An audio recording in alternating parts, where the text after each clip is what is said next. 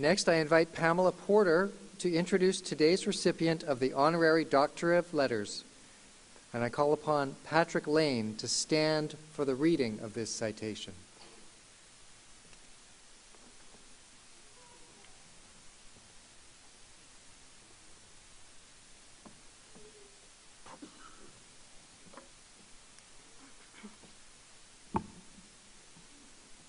Madam Chancellor, it is my honor today to introduce Mr. Patrick Lane, who will be receiving an honorary doctorate of letters. Critics and scholars call Mr. Lane one of the finest poets of his generation. He is an admired teacher, workshop leader, and supporter of poets across North America. In a career spanning more than 50 years, with 27 books of poetry to his credit, Mr. Lane's published works also include a collection of short stories, the novel Red Dog, Red Dog, and There is a Season, a memoir that has served as a source of strength for others recovering from addiction. As a young man, he held a series of jobs in the logging industry in northern BC during which time he taught himself the art of poetry. His early work was influenced by working class concerns, and his style was widely praised for its brutal personal honesty, which earned him the Governor General's Award in 1978 for his poems New and Selected. His further writing evolved to reflect a sense of wonder and spiritual awakening.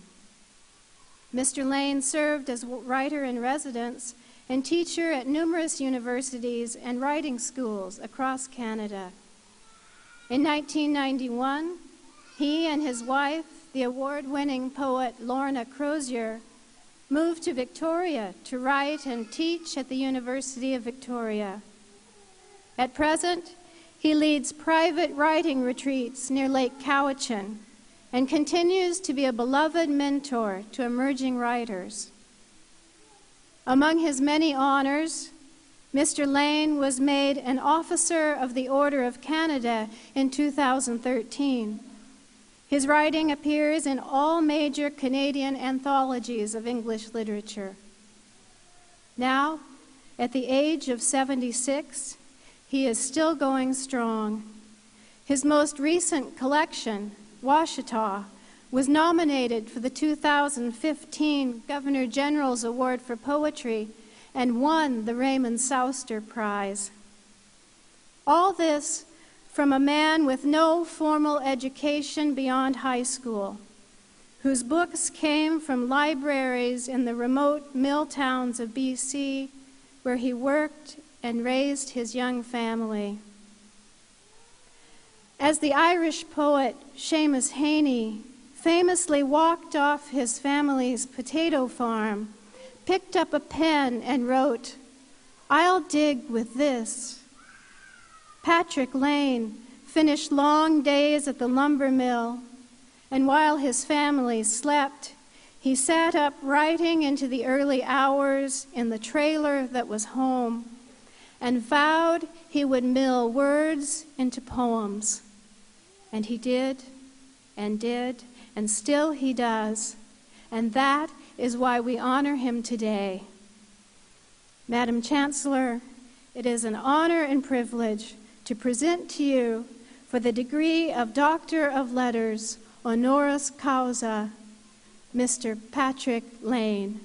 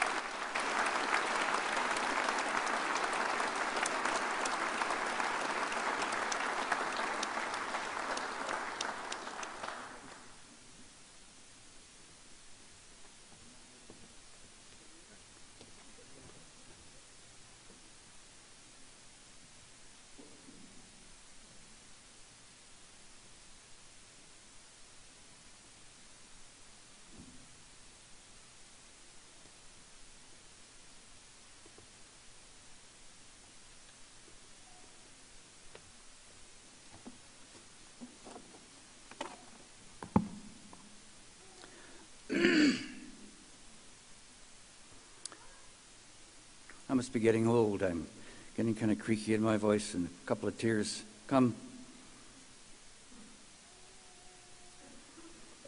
There were many times in my life when they didn't come. Madam Chancellor, Vice Chancellor, President, distinguished guests, faculty, families, and friends, it's an honor to address you today as the generation before me or behind me receives their degrees and by doing so begin a new world. On an early morning just after Christmas, just before Christmas back in 2000, I walked across a parking lot at an addiction treatment center here in Nanaimo, not far from this university. I stopped and looked up at the last stars and I said, I quit. At that moment, I began a new life, leaving behind me 50 years of alcohol and drugs.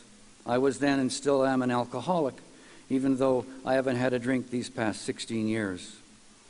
A month after I was released, I wrote a brief afterword to a collection of essays on addiction. It describes a few moments by a Christmas tree one December night at the treatment center. I read the piece to you now because the girl I describe at the end of this small essay died six months later of an overdose, her body found in a shabby room in East End, Vancouver. The world calls us drunks and addicts. The doctors call us chemically dependent. The counselors tell us we have a disease, and what we call ourselves is mostly unspeakable. The woman next to me, a sweet 19 year old, is an anorexic heroin addict who has been hooking on the streets since she was 13.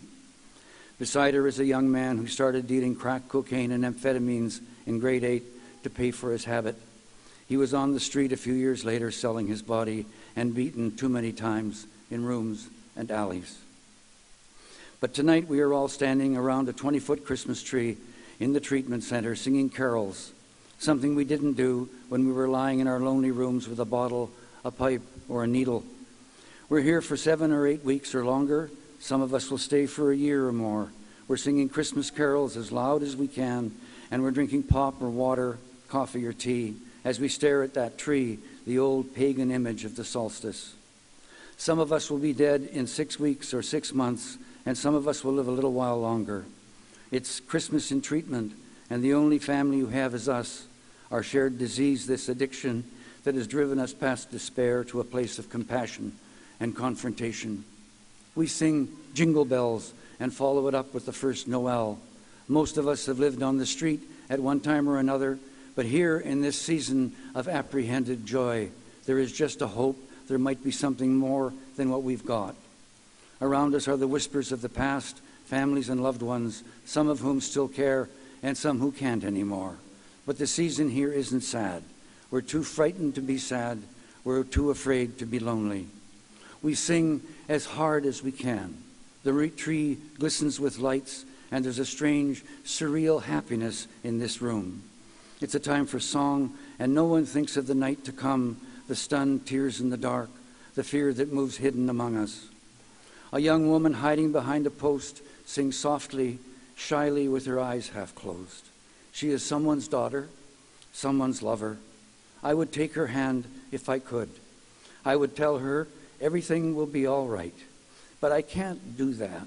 The odds are things won't be okay ever again. She's only a step away from a room of bottles, crack pipes, and seizures, or wrapped around a toilet with a needle hanging from her arm. She's only a step away from being clean, too, but that's a big step, and I don't know if she'll take it. It's Christmas. There is a tree and many lights and people singing. Some of us will make it, some of us won't, but we will sing our hearts out anyway. We sing as hard as we can. What I've given you here is a story from my life, for where else but a story? From life can a story come. But what has this to do with a day of celebration, a day when you receive your degrees after years of hard work? What I promise you is that a day or night will come when you will be faced with a struggle for your life. It can be a struggle much like my own, or it can take a different form. What matters is that it will come, and when it does, you will have to make a choice between life and death, your own or another's. What I want for you is to act upon the humility and compassion you share with all living things, whether it be for a refugee child drowning off the coast of Lesbos in Greece, or a grizzly bear having its head and paws chopped off with an axe by a trophy hunter in the Great Bear Rainforest.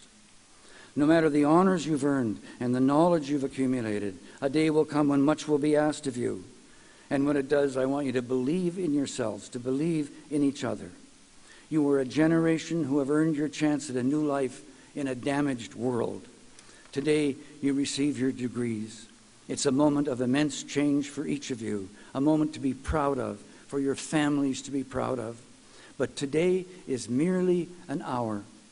I ask that you never be afraid, for a time may come when you will have to sing your hearts out. And when that happens, I want you to sing as hard as you can. Thank you.